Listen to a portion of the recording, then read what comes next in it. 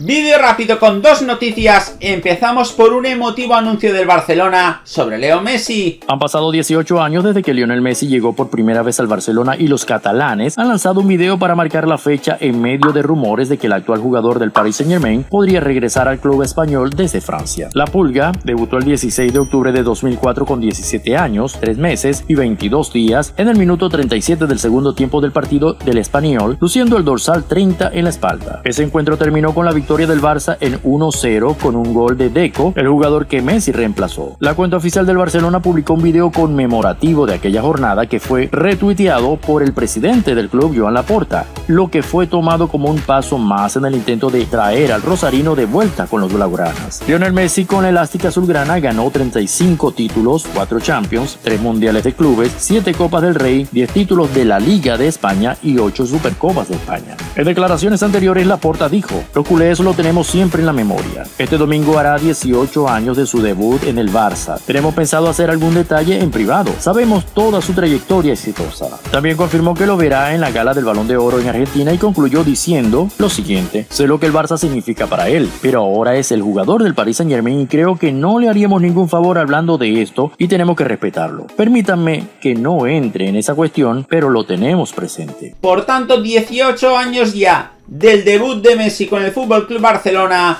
Otro que ha debutado pero no hace tanto es Robert Lewandowski. Y es que el polaco, a pesar de haber tenido un comienzo de temporada muy bueno con el Club Barcelona, ha sufrido especialmente en estos dos últimos partidos. La participación del FC Barcelona en el Santiago Bernabéu ante el Real Madrid no estuvo a la altura de lo que necesitaban los culés. Dejó una sensación muy amarga, en definitiva será una tarde que no van a querer recordar. Como dijo Xavi Hernández, es hora de que el Barcelona se sacuda, retome el rumbo de las buenas sensaciones que no tuvo ante el Real Madrid. Los azulgranas estuvieron muy predecibles y a media máquina. Tampoco ayudó la serie de errores que terminaron definiendo el marcador a favor del Madrid. El Barcelona no estuvo muy acertado y con un Robert Lewandowski totalmente desconectado, acaparado por los centrales madridistas, en especial por Eder Militao, que lo siguió por todo el campo sin dejarle respiro. Los de Carlo Ancelotti entendieron que al neutralizar al mejor recurso del Barça estarían en ventaja, algo que fue muy acertado. El partido para el polaco fue muy frustrante y sin reparos. Estuvo muy condicionado por el marcaje del defensa central brasileño, quien es el ancla principal del Madrid últimamente. Para Lewandowski fue uno de los episodios más amargos que ha tenido en el Barcelona desde su llegada, junto con el encuentro ante el Inter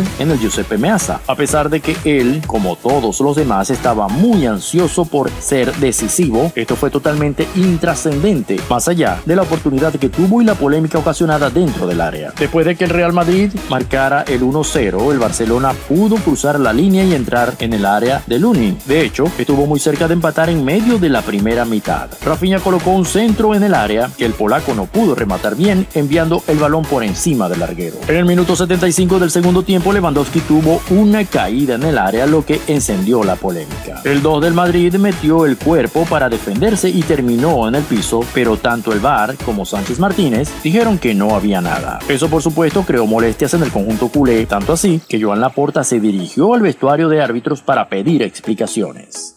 Por tanto, este fue el sufrimiento de Lewandowski en el clásico ante el Real Madrid.